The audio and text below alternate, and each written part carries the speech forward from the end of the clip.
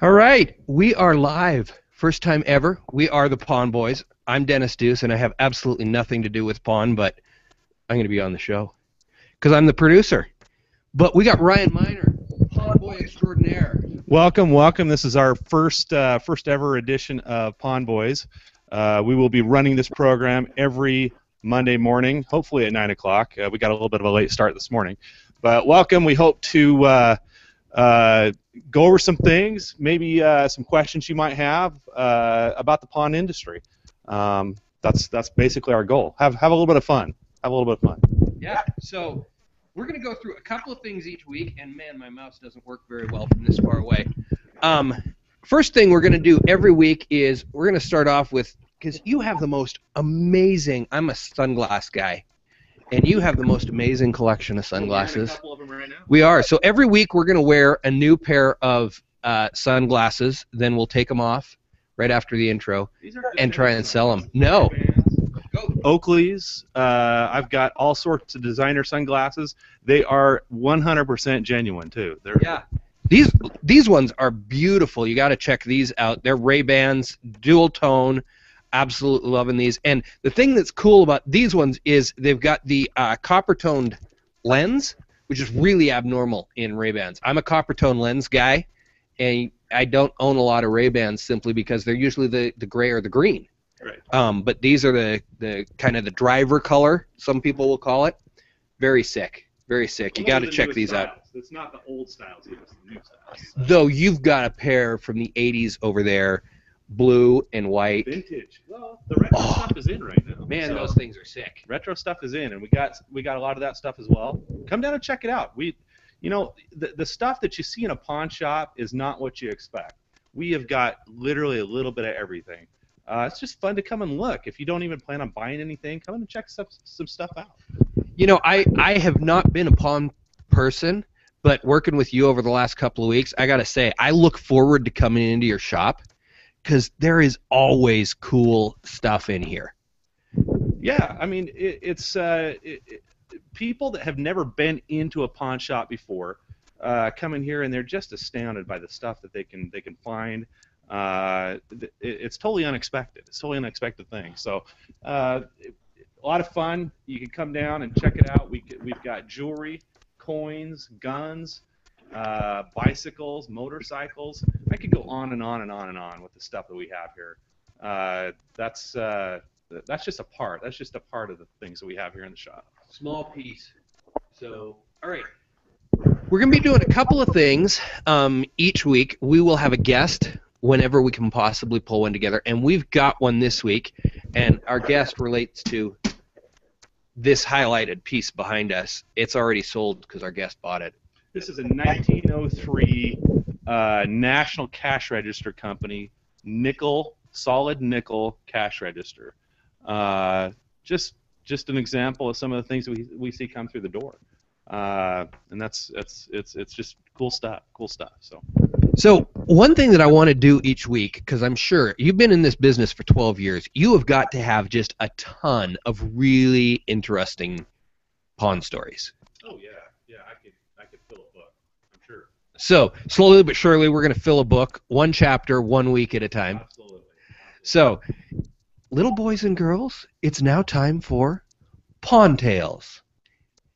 Well, uh, Take it away. what one of the things, one of the stories I like to tell people, you know, when I I meet people and uh, I tell them what I do for a living, they're instantly fascinated, and I get barraged by questions. Uh, and and so I I I have got th- these aren't tales. I mean, these are things that have actually happened in the store. Uh, some stories that I kind of pull up to uh, uh, I don't know to uh, fascinate them. Uh, one time I did. Uh, a guy comes through the door and he wanted wanted to pawn his grave plot, and he. I had no idea. I had n- I had never. I mean, that's the fun thing about this industry is that things will come through the door that you have never seen before in your whole life. Of course, the grave plot didn't come through the door. No, The the- guy. Well, he was holding the deed. Yeah. but the plot stayed where it was. I had never purchased one of these things before. Okay, I had no idea how much they are worth. It turns out they're very expensive items. I've uh, never had a need for one before. Hopefully, not very much. You know, I won't in, in the very the, the future. But uh, You know, but if, if it happens really quick, maybe you'll have the first broadcast live hangout on air funeral. let's hope not. Let's hope not. he pawns this thing, and uh, he had every intention of coming back and getting it. Uh, I kept it for him, and uh, he didn't come back and get it. Well, ironically enough, he uh, uh, his girlfriend calls me uh, probably two months after that, and he had passed away. This guy had passed away. the guy who had sold you the plot that didn't think he needed it anymore. Absolutely. He had passed away, and uh, it was very sad. That was a very, very sad situation. But his girlfriend was wanting to know if she could acquire the pawn or requ- acquire the uh, the grave plot again.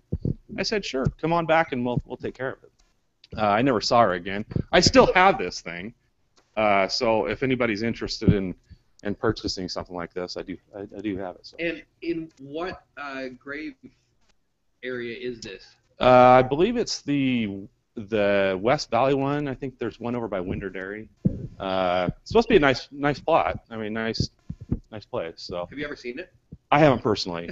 I haven't personally. I haven't been out there. So Well, if you're looking for a plot for your burial, or you know, a Christmas gift for somebody,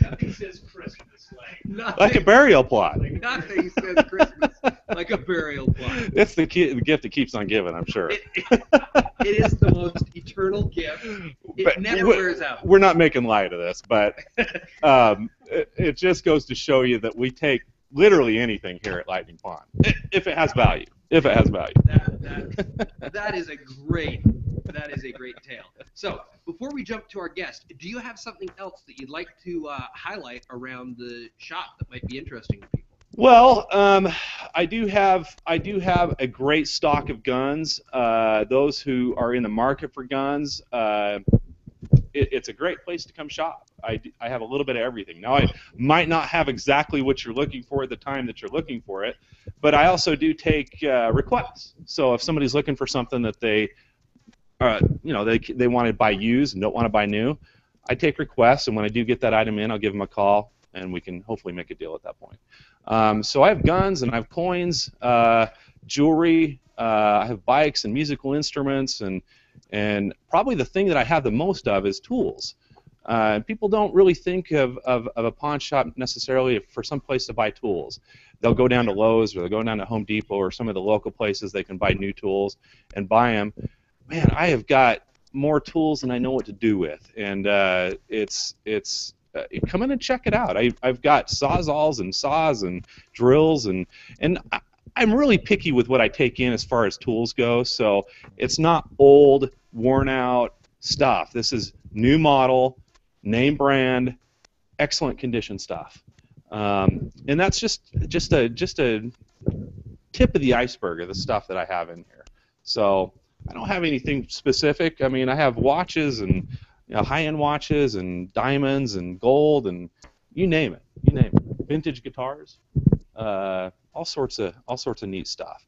Uh, small gifts that you know, it's not too late to come down and get something for uh, that last-minute person on your list. I've got um, entry-level guitars under $100, amps to go with those guitars, and I know a lot of people uh, have that on their on their their their gift their gift list for whoever they're buying for. Um, don't go to Walmart and buy the first act thing. They, they're they're junky. Come down and buy a name brand guitar for less than what you could buy it for new at, at Walmart. We always kind of joke around here, uh, cheaper than Walmart. That's the that's kind of our our, our motto. Cheaper than Walmart.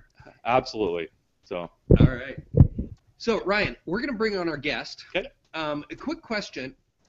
You were telling me a story about that watch right there, which they can't see. Is that case unlocked? That while the guest is on, I could grab that and we could actually highlight it oh, we could un- yeah we could unlock it. There's some keys right over here Okay. that we can I'll go. I'll go find those keys. And you were talking about bikes. Mhm. So we are going to bring in uh, one of the other um, Gombach clients, uh, and the guy who introduced us, Kirk, who you'll be able to catch later today on Jerk's Corner. Um, and Kirk's a longtime friend of Ryan, and uh, also a local business guy. And he's holding a clarinet. I have a feeling he might play. He's also wearing some sunglasses. We have. He, so. he he has some aviators on. So we're gonna bring on this week's guest, Kirk Sherrod from Jerk's Bike Shop.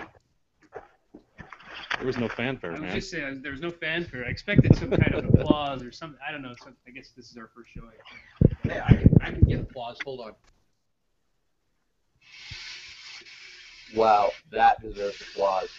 Not even one less. You don't play that thing, man?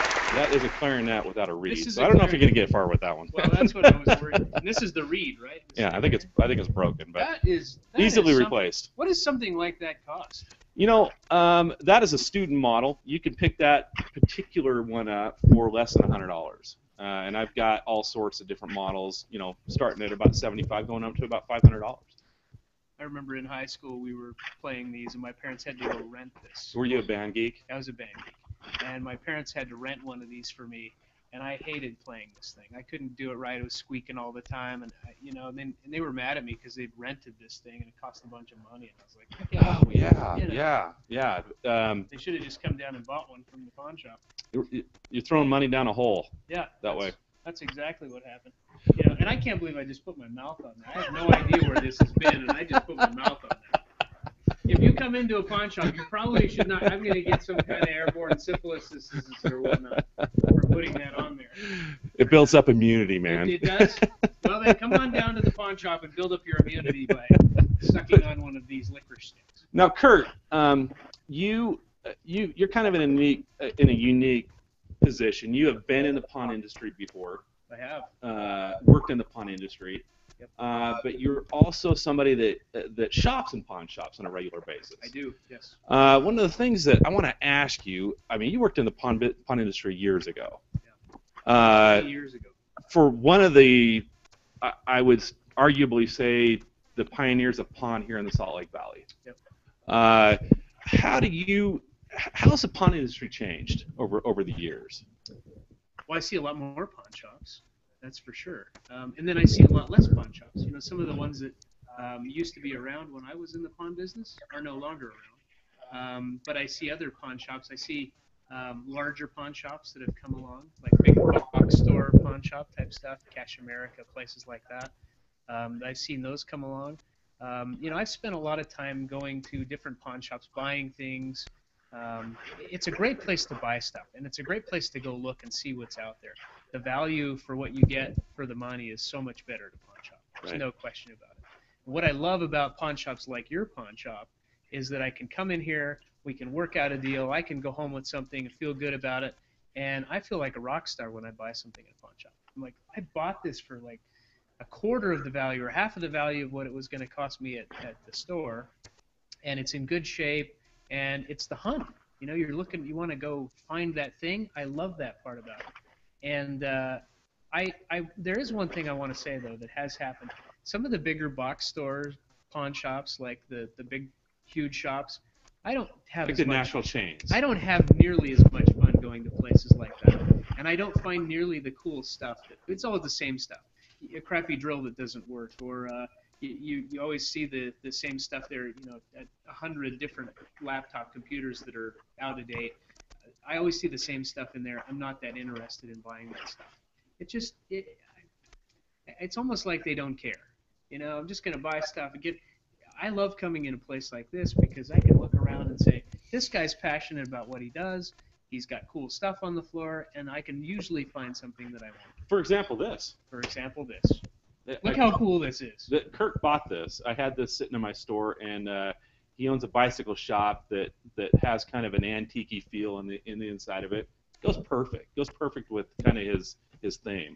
And uh, My, my theme is antiques. I'm, I'm becoming an antique, so I thought maybe I would just keep that that thing, that antique thing. you know, uh, just as just as Kirk was saying, I I like to I like to kind of pride myself on.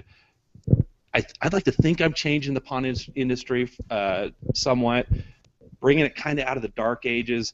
A lot of people have the, um, I- don't know, the uh, the notion that when they walk into a pawn shop, they're gonna it's this dark, dungeness, fat guy sitting behind the counter smoking a cigarette. There are those. Though. I have seen those guys. I, I I do have a little bit of a belly, I've got to admit, but but uh, I, I don't smoke and I don't wear a lot of chains. I've got a small one that I wear on my neck, but uh, I, I, I'm actually nice. Uh, and a lot of these, I, I mean, if you ever been into a pawn shop where you didn't feel like you're welcome? oh yeah, all the time. Yeah, you go and it's almost a burden that you're in there. Like, oh great, we've got another customer. Yeah, yeah, and uh, th- that is, you know, as as kind of a rule, the pawn customer is not a very loyal customer. Okay. Oh, yeah. Um, and I'd like to think I'm changing that. And I think one of the reasons was is they just never people. There, there was no customer service. Yeah. There was no customer service. Yeah. And and I care about the people that come in here. I do realize that that uh, that that these people are paying my bills. Yeah. So to speak. Yeah. And a lot of people don't realize, or a lot of owners don't realize that, or people working in pawn shops. And so I'd like to think in some small way, uh, I'm changing that. Yeah, So, I believe that. I really believe that. so when you worked in the pawn industry, is that, I mean, what, how, how, many, how many years has it been now? It's 20 plus years. Um, let's see. It would have been, uh, yeah, it's 20. Yeah, 20, 20 years exactly. since you've been in 20 there. years exactly. Okay, Yeah. quite a while ago. You're that old. Yep. antiques, antiques. um, how? There weren't that many pawn shops around when you were. No, not really. As you said, there's more pawn shops. now. There's more pawn shops. Yeah, I think uh, I think there's more. And you know what's interesting about that? I look around at some of the pawn shops that were around when I was when I was doing that. Um, a lot of those pawn shops aren't doing so hot right right. And I think a lot of it is because they haven't changed. Their- Evolved. They haven't evolved with the, the business style and things that have happened. Right. Um, you know, I think a lot of them would complain that the, the big stores are taking over, but um, I think that the main problem with that is they just haven't evolved along with with this the, what's happening in the in the world, and uh, and I think that has a lot to do with it. You know, I I have a pawn story. Go ahead. Is this a good time? Can I tell the pawn story now? You can. You Or guys do I have on to wait? Camera. You can tell the fun stories anytime you want. Here, let's get a close Okay, up so- on your face while you tell your so- fun story. Why does it have to be a close up on my face? It's not don't know, nothing to do with my face. Very little anyway. You can't see your eyes. Okay, you can't see my. Well, that's good because that's I don't want anybody to see my eyes. 'cause, you know, I used to be in the pawn business. Okay, so when I worked, I worked used to work at Witzel's Pawn, and Witzel's Pawn is still available. It's still down. Where is it? 17th, 17th. They're more downtown, yeah. Okay, so I, uh, I we had a guy come in that wanted to pawn his glass eye, and it was just crazy. Dude, I don't know if I could beat that one. I, I, That- I'm not that- trying to beat anything. That that just, that that you know. that that's uh that, that beats my uh, Great Claw story. I don't think it does. Well, anyway, let me let me finish because maybe wait till this you're gonna get a kick out of this. So this guy comes in. He wants to pawn his glass eye. Are they What? worth anything? I, I don't know. You know, and Dave at the time, I mean, it was kind of a you know standing joke that he he gave money for a for a glass eye, and I think he gave a hundred bucks for it or something, or 150 bucks for it. And uh, when you know, always the the thing we would tell people is they say, "Oh, I'm, I'm for sure I'm coming back for this. Guaranteed I'm coming back." Well, you never really know if they're coming back or not because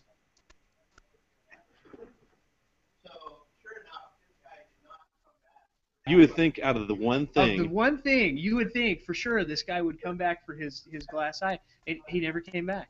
And Hmm. I thought, you know what? I thought I thought they were round, you know, like a ball, like a marble. You know, you just pop that thing in. Well, I, are eyeballs round? Yeah. Well, I don't know. We're getting Well, yeah, they are. But anyway, I don't know. But anyway, it wasn't round. The, the, it was just kind of a piece that goes over the, the eye socket. You know, kind of fits in, and you just stick it in there. Anyway, Dave, so somewhere there's some guy running around with one eye. with one eye, and who Okay. knows if he's still alive? He was quite old when he came in. But anyway, Dave Dave had that put on a chain, and had an inscription put on it, and, and the inscription on it says, "Here's looking at you, babe." and he still wears it to this day. I saw him not not three weeks ago, and he's still wearing this eye on his chain that says, "Here's looking at you, babe." That's a good one. So there's anyway, there's. You know, I you know I have uh, I, I have this story. Now I know this is a uh, uh, this is a G-rated show, okay, Right. and uh, I, I, I want to keep it as such. Um, and you know, I'm I'm maybe I stepped over the. I, I'm not a I, I- I'm not a sheltered person. I've seen some things in my life. Uh, I'm not a crazy person either. Uh, I had one time where, um, and I didn't even know they had such a thing before the guy brought it in, but it was a sex swing. And um, we're gonna talk about that. yeah, uh, well, we go. I- I I guess I was sheltered. I, I asked him, "What is a sex swing?" And um, he didn't say anything, but he broke out a brochure oh, that showed kind of what it, what it would do. And I'm like, "Okay." And he uh, proceeded to let me know that it was lightly used. oh good. Okay. Because that would be. Now, the end of the story was is is is I didn't end up taking it because a lightly used sex swing doesn't sound like something I'd probably sell. To me. No, it doesn't sound like something. A- anyway, uh, goes, never know. uh, the guy tried. The guy tried. Uh, I didn't take it, so I don't have it for sale here. So don't anybody asking, I don't have it for sale here. But um, the point is, is we'll take a look at whatever you have, uh, and that's what I tell people when they call me on the phone. Bring it in.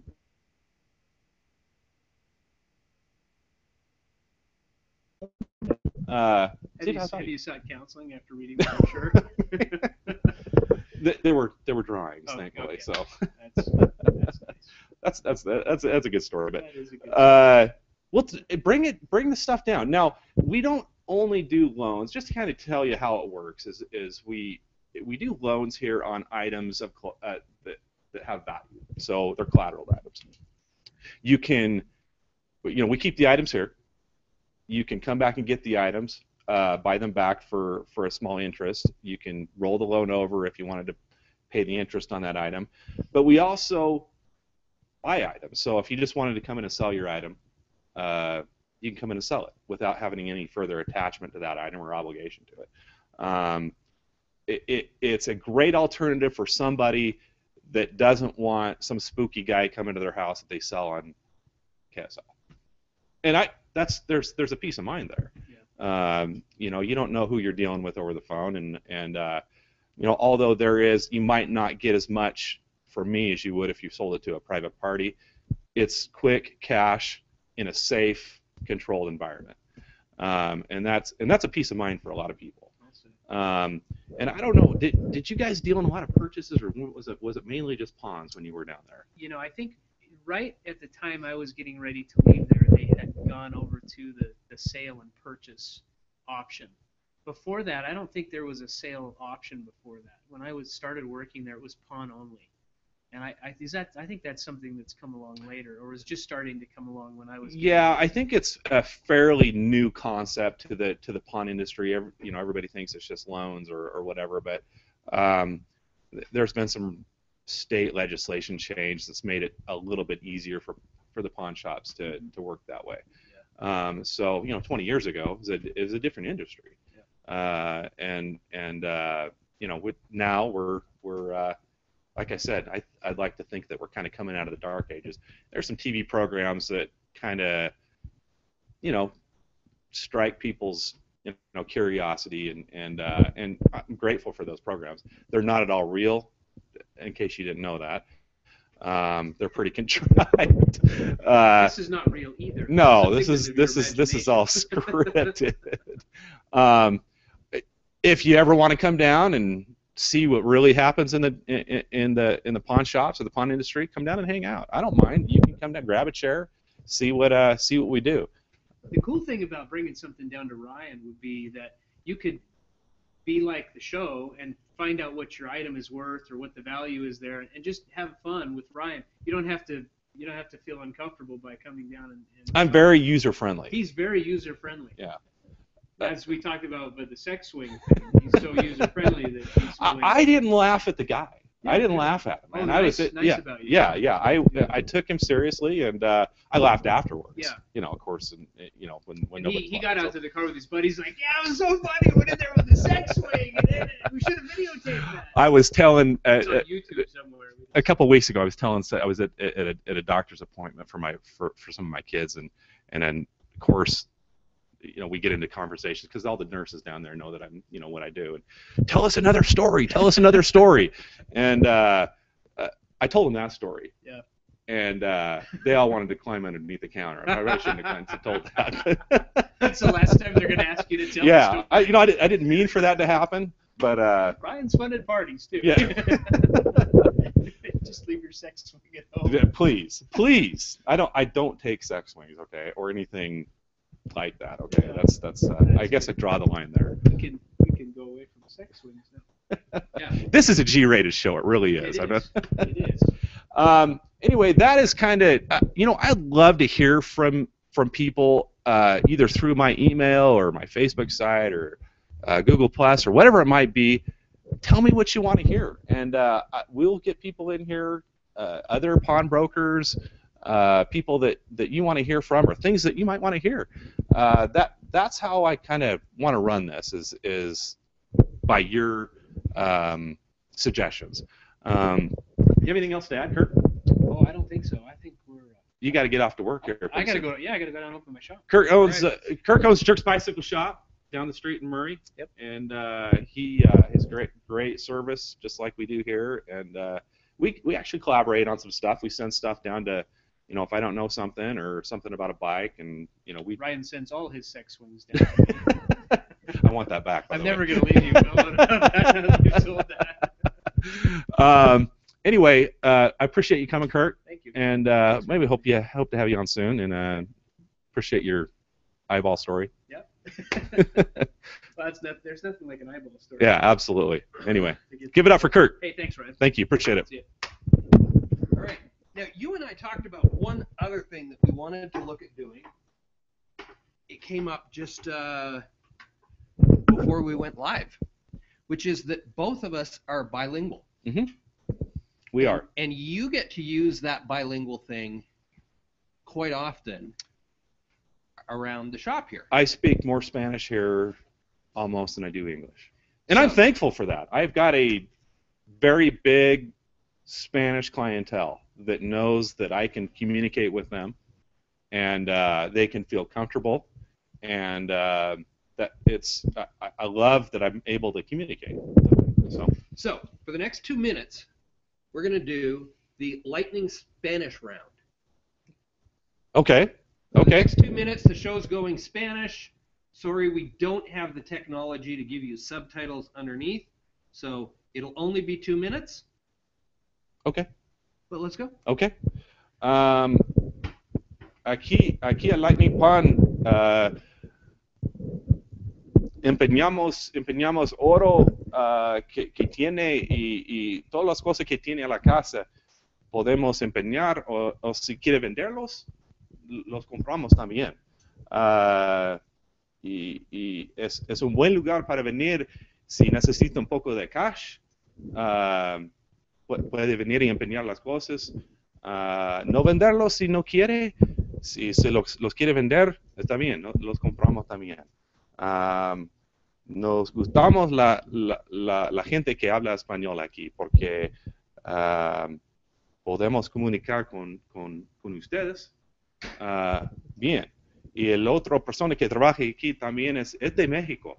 Y, y ah, Entonces habla aún mejor. Que, mucho mejor que, que nosotros. ¿no? Somos gringos nosotros dos. Sí.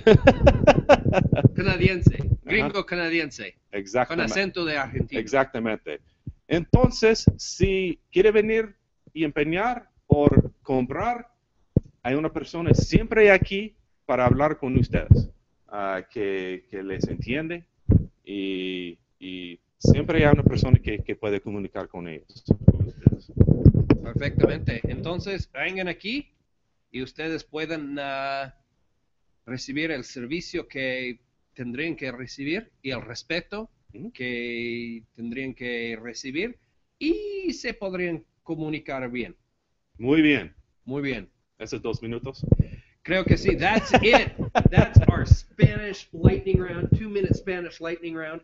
We'll do that towards the uh, end of each episode. Absolutely. So, uh, this is our first episode. Again, ask questions, Facebook, uh, email address, uh, in the conversation underneath this. We would love to hear what you want from Pawn Boys. What do you want to hear? What What are the things that you've always wanted to know about the pawn industry? I'd love to hear. We'll try to. We'll do our best to try to cover it, get it on. Maybe get the right guest on that we can talk to that maybe has some in, different insights. I mean, I don't even want to see my ugly mug every week, but we'll get some different people on here that you can uh, that you can that you check out. That's So- right. So, thank you very much for watching this week's episode of Pawn Boys. Thank you very much. Hope to see you next week. and uh, tell all your friends about it and tell us what you want to hear and we will be talking 9.30 or 9 o'clock Nine thirty. Let, let's Let- make it nine thirty. Yeah. 9.30 next week right here on google plus and uh, hope to see you again soon. Hasta luego. hasta la vista. And where did my why is my mouse not working? I'll edit this last part out. Wow. It was working the whole time through the show